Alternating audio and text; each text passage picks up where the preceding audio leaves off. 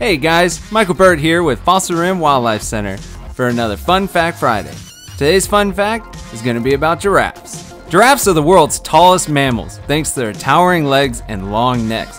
Giraffes can range from 14 to 19 feet in height. A giraffe's legs alone are taller than many humans, about 6 feet. Even the giraffe's tongue is long.